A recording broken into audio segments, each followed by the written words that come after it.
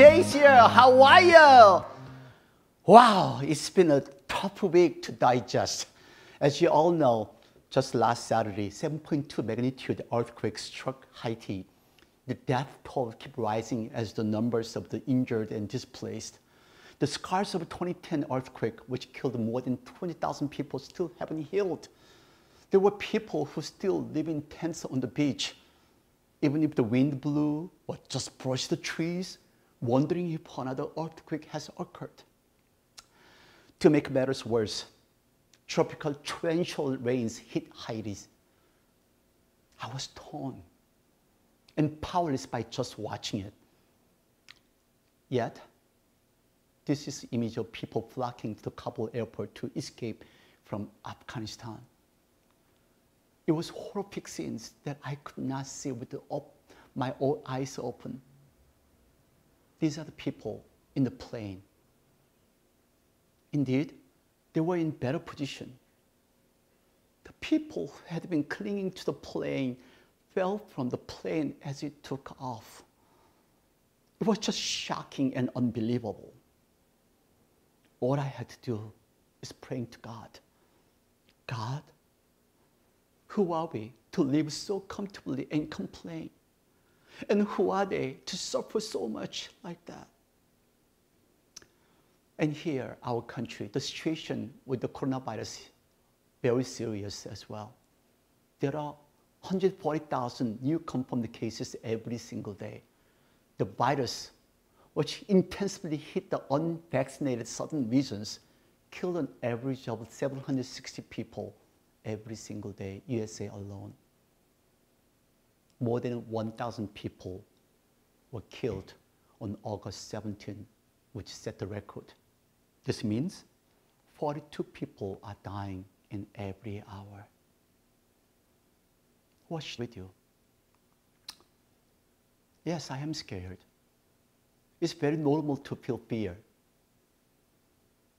But let me tell you, don't be afraid. Rather than doing nothing because of fear, get vaccinated, wear a mask, keep the social distance, and be careful not to get infected. And we should continuously seek for God's guidance for what we should do. I know God wants to come back to Him. I know God wants to come back uh, to Him closer than ever before. But we don't listen, we don't really care. People pray and come back to God when it's only after hitting the bottom of their life. And this is not all. As I've been telling you all along, after crisis passes, we forget everything again and live as we used to be. I want us to meet God in each way, not in a hard way. Today's scripture is about Jonah. The story of Jonah living in the inside of fish for three days is hard to believe. In fact, the Bible is full of mysterious things and miracles. So if you don't believe in Jonah's story, how can you believe in creation? How can you believe in the miracles of the five bread and two fishes? How can you believe the resurrection of Jesus? So let me tell you for one thing for sure, Bible has no error. Don't you have experience that you don't want to follow God, though He told you to do? I did. There were times when God told me to do something, and I didn't. I didn't say yes. Do you know what? I paid a huge, huge price. So this is a story of Jonah. This short book tells about our everyday Christian life. There are great lessons we all have to learn from the book of Jonah. First lesson is don't run away from God when God calls you. Let's read chapter 1, verse 2 and 3. Go to the great city of Nineveh and preach against it, because its weakness has come up before me. But Jonah ran away from the Lord and headed for Tarshish. He went down to uh, Joppa, where he found a ship bound for that port.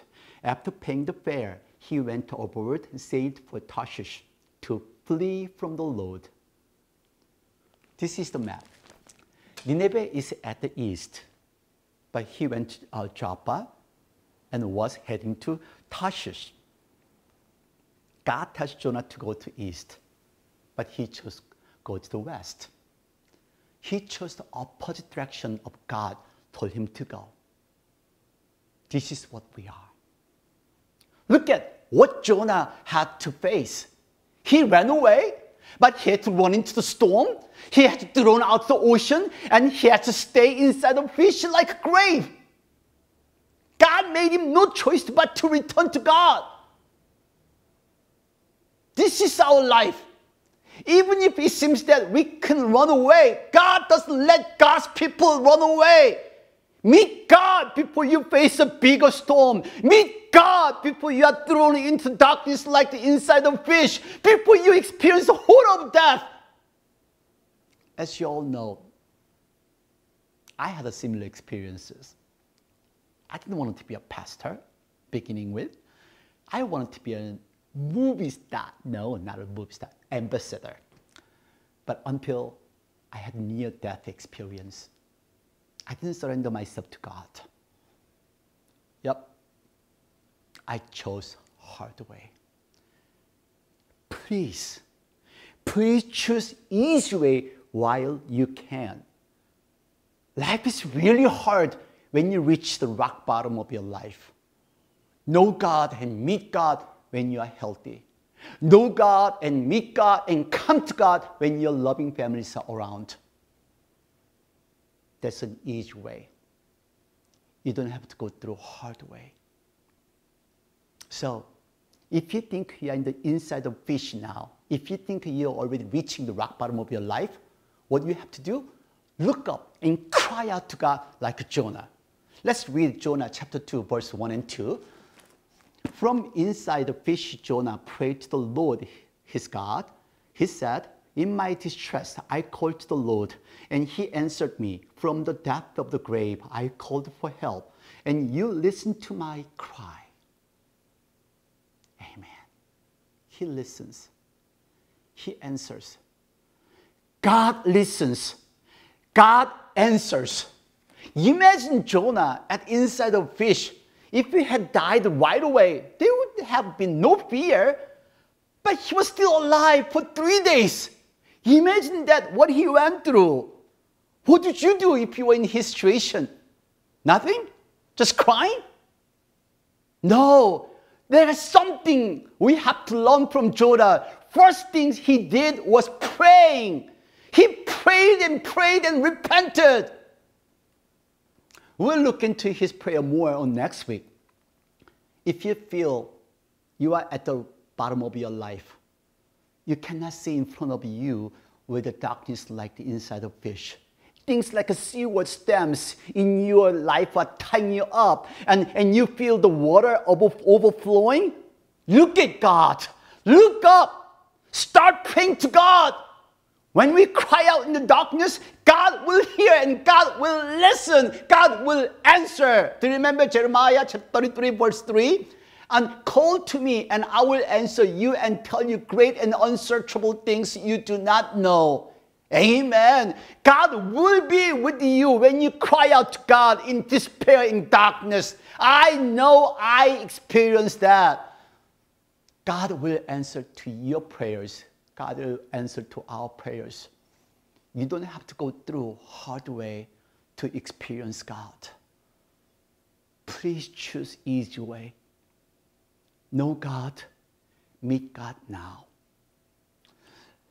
Let me share you one story of a pastor who had learned in very hard way. This article appeared in Baptist Press last week on August 12, 2021. This is Danny Reeves a pastor of First Baptist Church, Corsicana, Texas. He battled for his life for 39 days after he was infected with coronavirus. Doctors gave 49-year-old Pastor Reeves a reality check that there was chance he could die. Pastor Reeves said, there were lots of emotions and I cried a lot in the hospital. I fought for my life those first three nights in the ICU. I have never faced what I would call a near death experience, and I did feel fear, and I prayed. If this was my appointed time for God to call me, I knew I was ready. I look forward to seeing the Lord. I didn't want that to happen yet, but I knew if that's what God had determined for me, I had a real peace. He also said, before I was infected, I just didn't think it would happen to me. And therefore, I thought I was healthy enough to deal with it. If I might get it, but I learned hard way. I think I was just overconfident. I wish I would have gotten the vaccine. And I believe my case would have been severely diminished if I had done so. I don't want the people to go through the horror that I faced. Please get this message. Get vaccinated before you lose a loved one or damage your health due to coronavirus because you don't get vaccinated. One of the main lessons Pastor Reeves has learned through the whole process and the advice he gives to anyone currently struggling through a COVID 19 battle is to be courageous and trust the Lord in all things. As he said, when Christ becomes our foundation, even the darkest of valley shrink in comparison to God's great power and love for us. Don't wait until you hit the bottom of the darkness of life. Know God.